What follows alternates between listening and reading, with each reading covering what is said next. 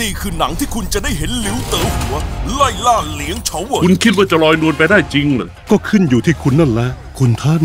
เปิดสกราชใหม่ เอาใจคอหนังฟอร์มใหญ่ยากงานโคจรกลับมาเฉือนคมกันอีกครั้ง ของสองคนโคตรพยักจากฮ่องกงในรอบ 20 ปีเฉิงอีเยียนไม่ถึงสามปีคุณทำเงินได้หลายล้าน เงินพวกนี้มาจากไหน